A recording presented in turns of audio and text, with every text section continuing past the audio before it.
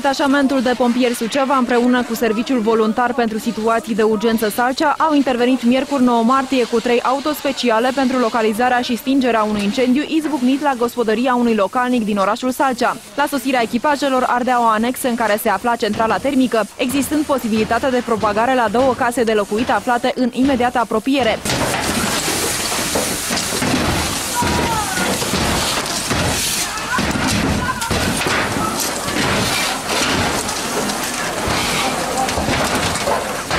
Incendiul a fost lichidat la ora 13 și 10 minute. Au ars camera centralei termice și bunuri depozitate în interior. Din primele cercetări a rezultat că incendiul a izbucnit din cauza jarului căzut din aparatul de încălzit. Pompierii au salvat cele două locuințe. Nu s-au înregistrat victime omenești.